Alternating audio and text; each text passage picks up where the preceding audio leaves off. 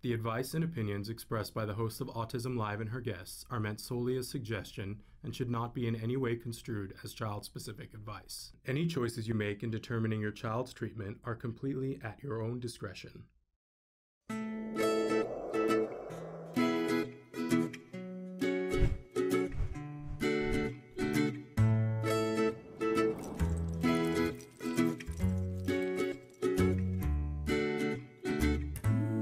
Uh, we our guest is here, so we got to move on to our last story about Sesame Street.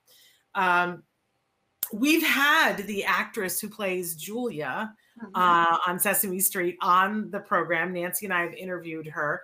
I'm I'm really proud of Sesame Street that they're taking this very seriously and not just resting on their laurels and saying, okay, we have a character on the spectrum um, that they've expanded. And like us here at the Autism Network, they've said, as we expand, we need to be employing people on the spectrum. Um, so I, I love that uh, Nancy. I didn't get a chance to go, but they they had a thing from Exceptional Minds the other day where they were debuting some of the work that they've done with Sesame Street. These artists on the autism spectrum. Um, I didn't get to be there as they were debuting that, but I did get to see some of the videos. Did you by chance get to see any of the things that Exceptional Minds did with them? No, I did not. I wasn't aware of that, Shannon.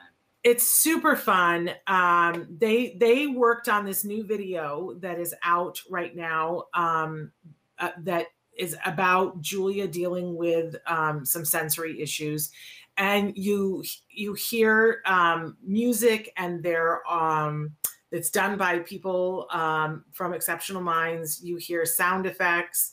Uh, at one point, she's talking about being afraid because there's a trash can that's banging in the wind, and and she's afraid of it. And and there are these bang noises.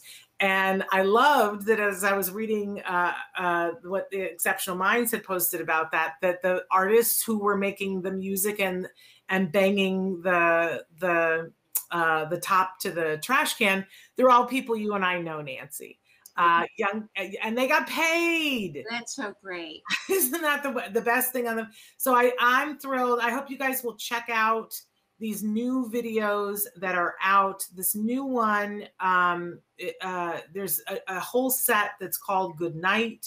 Um, and there's routine cards that help you to get your child to go to bed. There's helpful hints in the video that I watched. Um, Julia was afraid, and mom uh, said, "Well, you know what? Let's draw about what what we're afraid of. Let's shed some light on it. Let's draw what we're afraid of." And so Julia gets out a crayon and she draws the the trash can, and they find a way to laugh at it, which I thought was a really productive way Right. to deal with fears. Yeah. So. Should Um, also mention, Shannon, that they have uh, the added content aimed at the Chinese American autism community.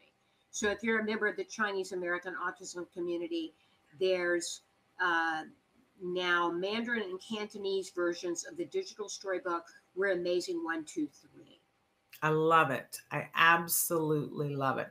So check those out, you guys. Uh, we continue to be very proud of Sesame Street and the way they're handling this.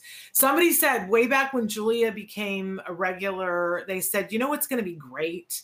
When the kids who are the age that are watching this right now become the HR directors in 20, 30 years, and somebody with autism walks in the door to apply for a job, it's going to be a whole new ballgame, whole different thing because they're going to have seen Julia.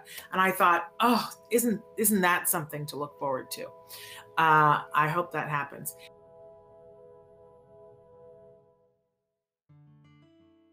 Thanks for watching Autism Live.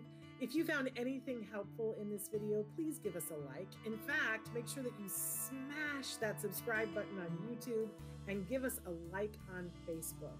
You can also follow us on Twitter and Instagram for important updates. And please download our free podcast wherever you get your podcasts. See you next time. Until then, give your kiddos a hug from me and one for you too.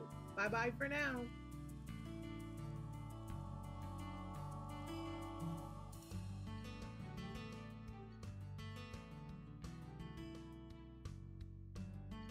Subscribe, click here. And if you'd like to check out some more of our videos, click here.